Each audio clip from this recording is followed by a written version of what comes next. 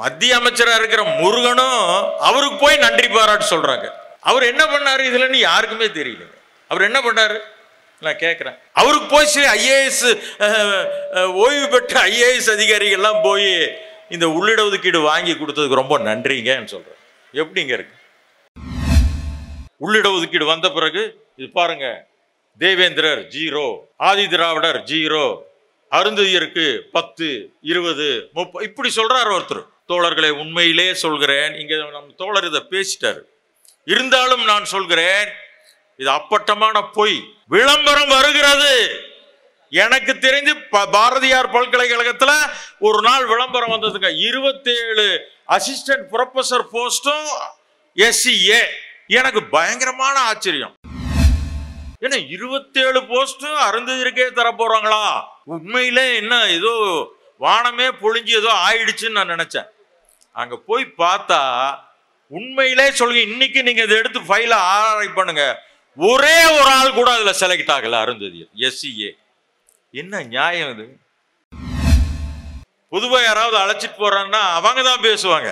நீங்க உட்கார்ந்து பேசுங்க நீங்க தான் பிரதிநிதின்னு சொன்னார். மரியாதைக்குரிய என் பி அவர்கள். உண்மையில இன்றைக்கு வரைக்கும் நான் அவரை மறக்க முடியும். அது மட்டுமல்ல தருமபுரியில் நடந்த எங்களுடைய உள்ளிட ஒதுக்கீடு மாநாட்டில் வந்து சிறப்பு பேச்சாளராக கலந்து கொண்டு அதை சிறப்பித்தார். அந்த மாநாட்டில் தான் பெரிய விஷயங்கள்லாம் நடந்தது. என்பி அவர்களை இன்னும் சொல்ல போன அருந்ததியர்களே உங்கள் வீட்டில் என்பியுடைய படத்தை நீங்கள் வையுங்கள். அவர் அந்த அளவுக்கு நமக்கு வந்து செய்திருக்கிறார். அன்புக்குரிய தோழர்களே ஒன்று எட்டு ஒன்று ஆகஸ்ட் ஒன்று அன்று ஒரு மிகப்பெரிய உச்சநீதிமன்ற தீர்ப்பு வந்தது. அதற்கு பிறகு இந்திய நாடே பரபரப்பில் மூழ்கிவிட்டது.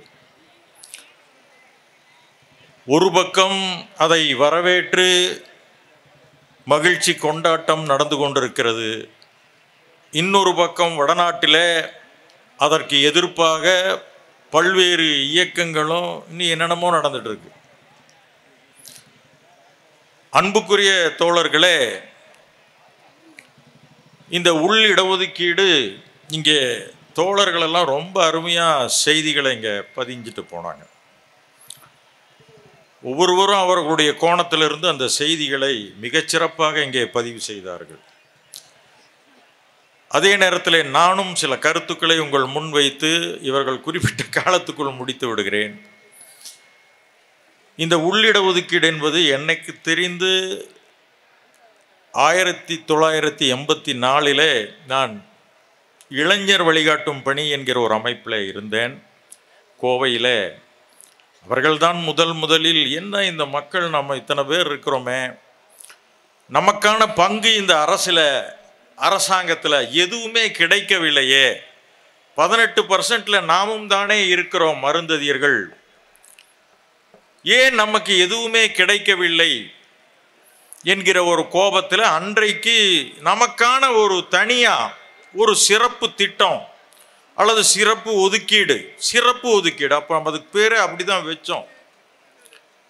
சிறப்பு ஒதுக்கீடு நமக்கு கிடைக்க வேண்டும் என்கிற ஒரு தீர்மானத்தை நிறைவேற்றி அன்றைக்கு நாம் அங்கே அனுப்பினோம் அன்றைக்கு. இன்னும் சொல்லப்போனால் அது ஒரு விதை என்று கூட நான் சொல்வேன். இன்றைக்கு அந்த விதையிலிருந்து தொடங்கி மரியாதைக்குரிய நம்முடைய முன்னாள் சட்டமன்ற உறுப்பினர் மரியாதைக்குரிய சகோதரி பாலபாரதி அவர்கள் குறிப்பிட்டதைப் போல அவர்கள் சட்டப்பேரவையில் ஒரு கிள குழந்தை பிறப்பது அந்த சட்ட மசோதா பிறப்பதை ஒரு குழந்தை பிறப்புக்கு ஈடாக அவர்கள் இங்கே சுட்டி காட்டினார்கள் விதையிலிருந்து பிறப்பு வரைக்கும் இங்கே நம்ம பேசியிருக்கிறோம். அதுதான் உண்மை. அங்கிருந்து தொடங்கி வந்திருக்கிறது. நம்முடைய மார்க்சிஸ்ட் கம்யூனிஸ்ட் கட்சி ரெண்டாயிரத்தி ஏழிலே உண்மையிலே இந்த விஷயத்தில் பங்கு பெற்றது.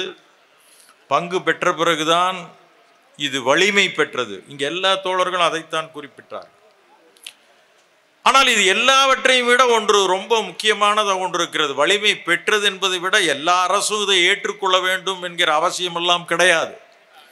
அங்கே இருந்தவர் முத்தமிழறிஞர் கலைஞர் அவருக்கு அருந்ததியர்களுடைய வழி என்னவென்று தெரியும். ஏனென்றால் அவரும் ஒடுக்கப்பட்ட சாதிகளிலே ஒடுக்கப்பட்ட சாதியாக இருந்தவர் என்பதை நாம் புரிந்து கொள்ள வேண்டும். அதனால்தான் அருந்ததியர்களுடைய வழி அவருக்கு புரிந்தது. இதுக்கு முன்னாடி இருந்த எத்தனையோ அரசுகள் அதை பற்றி நினைத்து கூட பார்க்கவே இல்லையே. இவர் ஏன் நினைத்து பார்த்தார்? கோரிக்கை எல்லோரும் தான் வைப்போம். ஆனால் இன்னொரு விஷயம் இருக்கிறது. நாம் இத்தனை கோரிக்கை வைத்து இத்தனை போராட்டங்கள் நடத்தி எல்லாமே செய்தோம் ஆனால் கலைஞர் அவர்கள் அந்த இடஒதுக்கீடு வழங்கிய பிறகு ஒரு கருத்தை வெளியிட்டார்கள். என்ன கருத்து தெரியுங்களா? அந்த கருத்து நாங்களெல்லாம் கூட அதை ஏற்றுக்கொள்ளவில்லை. மார்க்சிஸ்ட் கம்யூனிஸ்ட் கட்சியும் அந்த கருத்தை ஏற்றுக்கொள்ளவில்லை. அவர் சொன்னார் இந்த கோரிக்கைக்காக யாரும் போராடவில்லை. இந்த கோரிக்கைக்காக யாரும் எனக்கு கோரிக்கை மனுவே கொடுக்கல. கோரிக்கை மனுவே கொடுக்கல. அவர் சொன்னாரு நான் நான் தான் கோரிக்கை வைக்கிறேன். அது எனக்கே நானே கொடுத்துக்கிறேன். நானே கொடுத்துட்டு நானே அதை நிறைவேற்றுகிறேன். என்று சொன்னார். எவ்வளவு பெரிய சாணக்கியர் கலைஞர் என்பதை இப்பொழுது நினைத்தால் அதை புரிந்து கொள்ள முடிகிறது. ஏன் என்று சொன்னால் இந்த வெற்றிக்கு நாமெல்லாம் அதில் உரிமையை கொள்ளுவது நியாயமானது போராடி இருக்கிறோம் எல்லா ப- எல்லோருடைய பங்கு இருக்கிறது. இப்போ மத்திய அமைச்சராக இருக்கிற முருகனும் அவருக்கு போய் நன்றி பாராட்டு சொல்கிறாங்க அவர் என்ன பண்ணாரு? இதுலன்னு யாருக்குமே தெரியல அவர் என்ன பண்ணாரு? நான் கேட்குறேன். அவருக்கு போய் சரி ஐஏஎஸ் ஓய்வு பெற்ற ஐஏஎஸ் அதிகாரிகள்லாம் போய் இந்த உள்ளிடஒதுக்கீடு வாங்கி கொடுத்ததுக்கு ரொம்ப நன்றிங்கன்னு சொல்கிறேன் எப்படிங்க இருக்கு? அன்புக்குரிய சொந்தங்களே நான் இந்த நீதிமன்ற தீர்ப்பை ஒட்டி தான் இந்த மாநாடே இன்னைக்கு நடக்குது. நீதிமன்ற தீர்ப்பு என்ன சொல்கிறது? ஏன் இந்த உள்ளிடஒதுக்கீடு உச்ச நீதிமன்றத்துக்கு போனது? தமிழ்நாட்டில் கொடுத்திருக்கிற உள்ளிடஒதுக்கீட்டை எதிர்த்து போனார்கள். ஆனால் அது தடைபடவில்லை. தொடர்ந்து நடைமுறையிலே இருந்தது. வழக்கு மன்றம் போனார்களே ஒழிய இது தடைபடவில்லை. தொடர்ந்து பதினைந்து ஆண்டுகளாக இதை அருந்ததியர் மக்கள் அனுபவித்துக் கொண்டிருக்கிறார்கள். ஆனால் ஆந்திராவில் அப்படி நடக்கவில்லை. ஆந்திராவிலே கேட்டகரைசேஷன் வகைப்படுத்துதல் என்கிற முறையிலே இந்த மக்களை நான்காக பிரித்து ஏபிசிடி என்று சொல்லி அவர்கள் ஜீவோ மட்டும் போட்டார்கள். அங்க ஒன்றும் சட்டமெல்லாம் பாஸ் பண்ணல. வெறும் ஜீவோ போட்டால் அது சட்டத்தில் நிற்குமா ஹைகோர்ட்டே அதை தடை செய்து விட்டது. உயர்நீதிமன்றம் தடை செய்ததை உச்ச நீதிமன்றம் ஆமாம் அவர் தடை செய்தது சரி என்று சொல்லிவிட்டது. இதுதான் ஆந்திராவில் நடந்தது. வகைப்படுத்துதல். அதே போல பஞ்சாப்ல என்ன விஷயம்னா பஞ்சாப்ல ஐம்பது சதவீத இடஒதுக்கீடு கொடுத்துருக்காங்க. சாதாரணம் இங்க நம்ம வந்து மூணு சதவீத இடஒதுக்கீடு. ஐம்பது சதவீத இடஒதுக்கீடு அங்க. ஆக இப்படிப்பட்ட வழக்குகள் அங்கே நடக்கிறது என்று அங்கே போனோம். மார்க்சிஸ்ட் கம்யூனிஸ்ட் கட்சி தன்னை இணைத்துக் கொண்டது. நானும் ஆதித்தமிழர் பேரவையும் அதில் இணைத்துக் கொண்டது. பல பேர் அதில் இணைத்துக் கொண்டார்கள். இறுதியில் இன்றைக்கு இருக்கிற முதல்வர் அவர்களை சந்தித்து கூட இதில் ஒரு சிறப்பான அரசியல் சட்ட நிபுணம் வாய் நிபுணத்துவம் வாய்ந்த ஒரு வழக்கறிஞரை நீங்கள் நியமிக்க வேண்டும் என்கிற கோரிக்கையை நாங்கள் பேரவை சார்பில் வைத்தோம். அதை ஏற்றுக்கொண்ட முதல்வர் அவர்கள் மரியாதைக்குரிய சேகர் நாப்தே என்கிற ஒரு வழக்கறிஞரை நியமித்தார். அவர் போய் வழக்கு அங்கே வாதாடினார். நாங்களும் ஒரு வழக்கறிஞரை கான்வென்ஸ் காலின்ஸ் கன் கன்சால்வன்ஸ் அவரை நியமித்தோம். அவரும் போனார். ஆக இத்தனை பேர் போனாங்க வாதாடினாங்க எல்லாம் அதெல்லாம் முக்கியம் அல்ல. இந்த தீர்ப்புல என்ன வந்திருக்கிறது என்பதுதான் கேள்வி. இந்த தீர்ப்புல மூன்று விஷயங்கள் இருக்கிறது. ஒன்று கலைஞர் அவர்கள் கொடுத்த சட்டம் உள்ளிட ஒதுக்கீடு சட்டம் செல்லும் நம்பர் ஒன்று அந்த சட்டம் இயற்றுவதற்கு மாநில அரசுக்கு அதிகாரம் இருக்கிறது நம்பர் ரெண்டு. நம்பர் மூன்று ஏற்கனவே இருந்த சின்னையா வர்சஸ் ஆந்திர பிரதேஷ் என்கிற அந்த ஜட்ஜ்மெண்ட்டை நல்லிஃபைடு அதாவது இது செல்லாது என்று இன்றைக்கு அறிவித்து விட்டது. அப்ப அந்த ஜட்ஜ்மெண்ட்ல என்ன சொன்னாங்க அப்படின்னு சொன்னா எல்லோரும் ஒரே ஹோமோஜீனியஸ் பட்டியலினத்தில் இருக்கிறவங்க அத்தனை பேரும் ஹோமோஜீனியஸ் அப்படின்னா என்ன அர்த்தம்? எல்லோரும் ஒரே தன்மை வாய்ந்தவர்கள். ஆனா இப்ப இருக்கிற இந்த உச்சநீதிமன்ற தீர்ப்பு என்ன சொல்கிறது என்று சொன்னால் இல்லை. அவர்கள் ஹோமோஜீனியஸ் கிடையாது. ஹெட்ரோஜீனியஸ் அப்படின்னா என்ன? அப்படின்னா அருந்ததியர்கள் வேறு வகையான பண்பாடு உடையவர்கள். தேவேந்திரர்கள் வேறு வகையான பண்பாடு உடையவர்கள். ஆதி திராவிடர்கள் வேறு வகையான பண்பாடு உடையவர்கள். ஒருவருக்கொருவர் கொடுக்கல் வாங்கல் பெண் கொடுக்கல் வாங்கல் கிடையாது. அப்படி எப்படி ஹோமோஜினியஸ் ஆக முடியும்? தப்பித்தவறி ஒருவன் ஒரு அருந்ததிய பையன் ஒரு அஹ், ஆதி திராவிடர் பையன் பெண்ணை காதலித்து விட்டால் வெட்ட வருகிறான். நடக்குதா இல்லையா? சோ இதையெல்லாம் தீர்க்க வேண்டும் என்றால் நாம் சனாதானத்துக்கு எதிராக போர் தொடுக்க வேண்டும். சட்டத்தினால் இது முடியவே முடியாது. சனாதானத்துக்கு எதிரான போர் மீண்டும் தொடர்ந்து நடக்க நடக்க வேணும். மக்கள் மத்தியில் அது கொண்டு போகணும். அந்த பண்பாட்டு ரீதியிலான விஷயங்களை கொண்டு போய் சேர்க்க வேணும். நாளுக்கு நாள் சாதியினுடைய அந்த குரூப்பிங் நடந்து கொண்டே இருக்கிறது. ஆக இதையெல்லாம் இன்றைக்கு உச்சநீதிமன்ற தீர்ப்பில் இன்றைக்கு வந்திருக்கிறது. அப்போ என்ன மாநிலத்துக்கு அதிகாரம் இருக்கிறது என்று அவர்கள் இந்த தீர்ப்பில் சொல்லப்பட்டிருக்கிறது. இதில் என்ன தவறு இருக்கிறது? அரசியல் சட்டத்தினுடைய முன்னூத்தி நாற்பத்தொன்னு பிரிவு என்ன சொல்கிறது என்று சொன்னால் பட்டியலின மக்களை ஒருவரை சேர்ப்பதோ அல்லது அதிலிருந்து விலக்குவதோ கூடாது. இதுதாங்க அந்த சட்டம் சொல்லுது. அப்படி இருக்கும்போது அது மாநில அரசுக்கு அந்த அதிகாரம் கிடையாது. ஆனால் இருக்கிறவங்கள குரூப்பிங் பண்ணலாம்ல அதுல என்ன தவறு? இப்போ ஆதித்தமிழர் பேரவை போன்ற அமைப்புகள் எல்லாம் என்ன கோரிக்கை நாங்கள் வைக்கிறோம்னா கேட்டகரைசேஷன் என்கிற முறையில இந்த சட்டத்தை மாற்றி அமையுங்கள். பதினெட்டு விழுக்காட்டையும் கேட்டகரைசேஷன் பண்ணுங்க. நான் என்ன கேட்கிறேன்னு சொன்னா மூன்று சாதிகளுங்க. மூன்று சாதிகளுக்கும் கீழே ஏழு ஏழு சாதிகள் இன்றைக்கு வருகிறது. அது அவங்களோட மட்டும்தான் அவர்கள் தொடர்பு. ஆதி திராவிடர் ஒரு ஏழு சாதி. அருந்ததியர் ஒரு ஏழு சாதி. தேவேந்திரர் ஒரு ஏழு சாதி. இந்த மூணு ஏழு இருபத்தி ஒரு சாதி அவ்வளோதான் அதுக்குள்ள முடிஞ்சு போச்சு. இருபத்தோரு சாதிக்குள்ள முடிஞ்சிருச்சுங்க. இவர்கள்லாம் என்ன சொல்றாங்கன்னா எழுபத்தாறு சாதிகள் இருக்கும்போது மூணு சதவீதத்தை எப்படி அருந்ததியருக்கு தரலாம் என்ற கேள்வி எழுப்புகிறார்கள் அல்லவா? அதற்கு நான் கேட்கிறேன். மூணு ஏழு இருபத்தொன்னு போக. இந்த எழுபத்தாறு சாதியில் எழுபத்தாறு சாதியும் தமிழ்நாட்டில் இல்லைங்க அதில் ரெண்டு ஜாதி இல்லை. எழுபத்தி நாலு சாதி இருக்கிறது.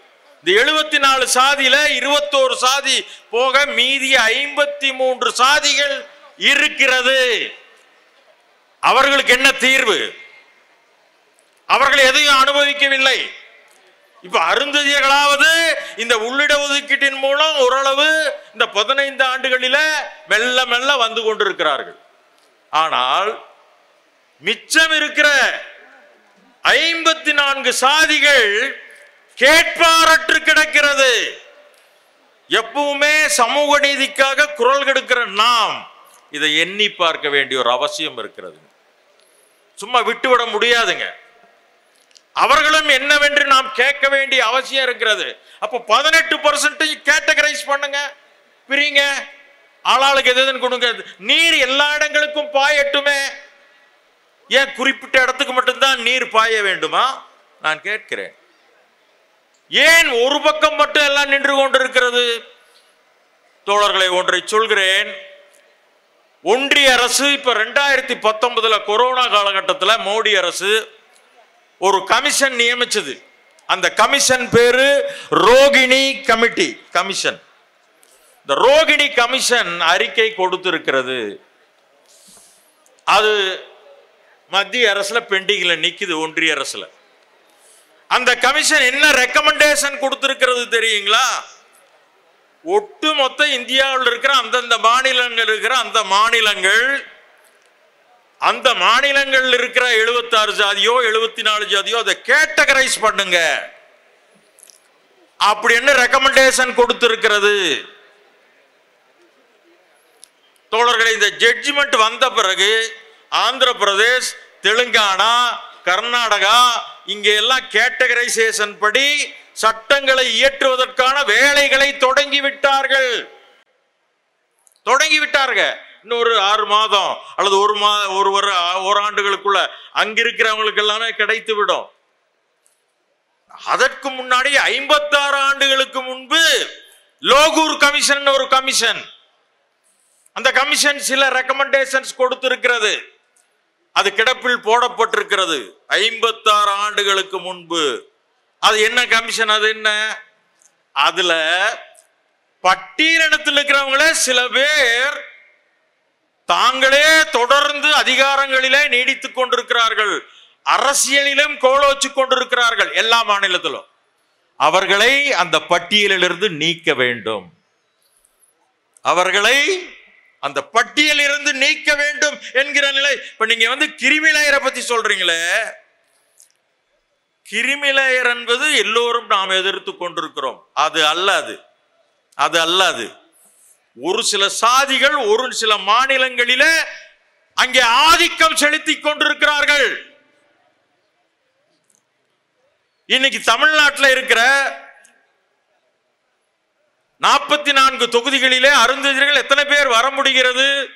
மூன்று பேருக்கு மேல் வர முடியல. இன்னைக்கு மூணு பேர் தான் இருக்கிறாங்க. நியாயப்படி என்ன வந்திருக்க வேண்டும்? அதெல்லாம் யார் கையில் இருக்கிறது? இதை நம்ம கேள்வி கேட்கக்கூடாதா? கேள்வி கேட்டால் என்ன தவறு? ஆக நம்மை பொறுத்தளவு இவர்கள் எல்லோருமே பாருங்க இப்ப எல்லாருமே கேட்டு இப்ப சப்ஜெக்ட் எங்க போய் நிக்குது தெரியுங்களா? மிக சமீபத்தில் ஒரு வாட்ஸ்அப் குழுல ஒரு இதை பார்த்தேன். நெல்லையில எஸ்சி எஸ்டி ஊழியர்கள் ஒரு ஆர்ப்பாட்டம் நடத்துகிறார்கள். ஆர்ப்பாட்டம் நடத்திவிட்டு அந்த ஆர்ப்பாட்டத்தில் பேசுகிறவர்கள் அரசு ஊழியர்கள் மறந்து விடாதீர்கள் தோழர்களே. அவர்கள் என்ன செய்யுமா சொல்கிறார்கள்? இவர்களார் அருந்தையர்கள் தெலுங்கு பேசுகிறவர்கள் வந்தேரிகள். இவர்களுக்கு எப்படி தமிழ்நாட்டினுடைய தமிழனுடைய உரிமையை பிரித்து கொடுக்கலாம்? பேசுவது யார்? அரசு ஊழியர்கள். இந்த கண்ணோட்டம் இங்கே பல பேரிடம் இன்றும் இருந்து கொண்டிருக்கிறது. இதுதான் பிரச்சனைக்கு அடிப்படையே இதுதாங்க காரணம். இவர்களுக்கு உண்மையிலே இடஒதுக்கீடு இவங்களுக்கு தர வேணும் அப்படிங்கிறது தரக்கூடாது என்பதெல்லாம் வேற.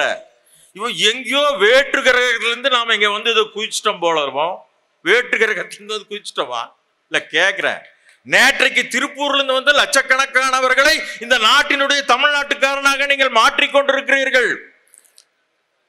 நூற்றுக்கணக்கான ஆண்டுகளுக்கு மேலாக இந்த நாட்டினுடைய வரலாறு என் பின்னாடை இருக்கிறது. அப்படிப்பட்ட எங்கள் அகடை மாதிகாக்களையும் மாதியாக்களையும் பகடைகளையும் அருந்ததியர்களையும் வந்தேரிகள் என்கிற கண்ணோட்டத்தோடு பார்த்து கொண்டு சில அரசியல்வாதிகளே இருந்து கொண்டிருக்கிறார் அதுதான் நமக்கு கேவலம். இவன் அரசியல் இல்லாம வெளியிலிருந்து பேசினா என்ன? அதை பத்தி நாங்க கவலைப்பட மாட்டோம். அரசியலில் இருந்து கொண்டு இதை பேசிக் கொண்டிருக்கிறார்கள். ஆக இதையெல்லாம் நாம் மிக கூர்மையாக நாம் கவனிக்க வேண்டிய ஒரு அவசியம் நமக்கு இருந்து கொண்டிருக்கிறது. நம்மை பொறுத்தளவு இந்த உள்ளிட ஒதுக்கீட்டில் சில பேர் சொல்றான் பாருங்க இந்த லிஸ்ட்ல உள்ளிடஒதுக்கீடு வந்த பிறகு இது பாருங்க தேவேந்திரர் ஜீரோ ஆதி திராவிடர் ஜீரோ அருந்ததியருக்கு பத்து இருபது முப்பது இப்படி சொல்றார் ஒருத்தர். தோழர்களை உண்மையிலே சொல்கிறேன். இங்கே நம் தோழர் இதை பேசிட்டாரு. இருந்தாலும் நான் சொல்கிறேன் இது அப்பட்டமான பொய். விளம்பரம் வருகிறது. எனக்கு தெரிஞ்சு ப- பாரதியார் பல்கலைக்கழகத்தில் ஒரு நாள் விளம்பரம் வந்ததுங்க. இருபத்தேழு அசிஸ்டன்ட் ப்ரொஃபசர் போஸ்டும் எஸ்சிஏ எனக்கு பயங்கரமான ஆச்சரியம். ஏன்னா இருபத்தேழு போஸ்டும் அருந்ததிற்கே தர போறாங்களா உண்மையிலே என்ன ஏதோ வானமே பொழிஞ்சு ஏதோ ஆயிடுச்சுன்னு நான் நினைச்சேன். அங்க போய் பார்த்தா உண்மையிலே சொல்லுங்க இன்னைக்கு நீங்க இதை எடுத்து ஃபைல ஆராய் பண்ணுங்க. ஒரே ஒரு ஆள் கூட அதுல செலக்ட் ஆகல அருந்ததியர் எஸ்சிஏ என்ன நியாயம் இது? மனோன்மணியம் பல்கலைக்கழகம் பாரதிதாசன் பல்கலைக்கழகம் அண்ணா பல்கலை எல்லாத்துலேயும் சென்னை பல்கலைக்கழகம் விளம்பரம் வருகிறது.